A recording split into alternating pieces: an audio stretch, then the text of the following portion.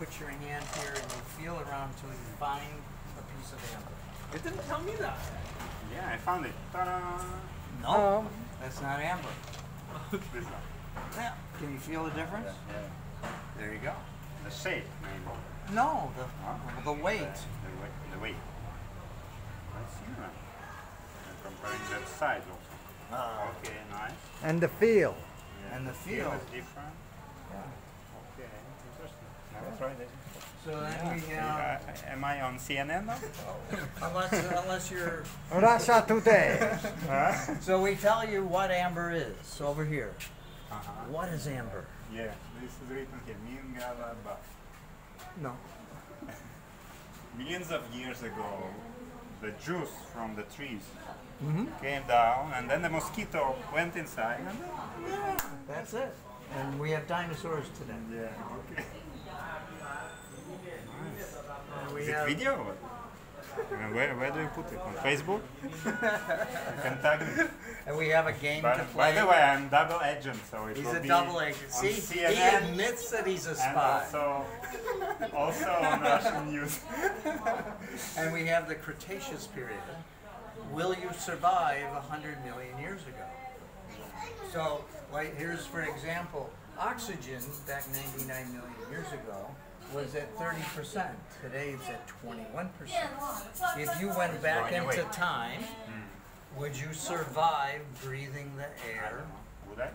I'm asking you. There's the answer. Ah, I think I would. You think you would? Here's the answer. Why? Easily hyperventilation. Uh-huh. You would hyperventilate. But no, but I, I, I would be already adapted. Okay, yes. Hopefully. Correct. Okay. Correct. And then we have uh, actually all the samples. So here you can you can look for yourself and see what uh, the creatures are, and then here up here you can see the different things. Like, uh, the flower is here. Here's the flower. And you can see all the different. Mm-hmm. Uh, creatures and explanations. Uh, fish like them from millions years ago? Yeah, yeah. So this Medium. is 100 million years old. Yeah. Yeah. How do you determine that? Uh, zircon dating. So the scientists have uh, studied the zircons in the mother rock where the amber was taken. And we have even things like lizards. There's a lizard that's 99 million years old. Eh? And egg Here's scorpions. Here's a lizard's foot. And here you have the explanation of it. This is all found in Amber from Myanmar. And of course then we have Donald. You have Donald but no Putin? Huh? We, we could have a, I could get one that's made up for Putin. Putin corner. Putin can be the tech. Well, but you know, Putin will still be around after a few more millions years. So okay. Well, uh, a few more terms.